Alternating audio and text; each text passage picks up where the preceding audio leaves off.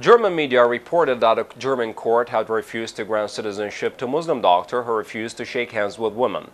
According to media reports, the man, Lebanese doctor, refused to shake hands with women for religious reasons. Meanwhile, an administrative court in the state of Baden-Württemberg said that the refusal to shake hands with women came as a result of a fundamentalist view of values and culture that views women as dangerous seduction, which represents a refusal to integrate into German life. The Lebanese immigrant had studied medicine in Germany and was rejected citizenship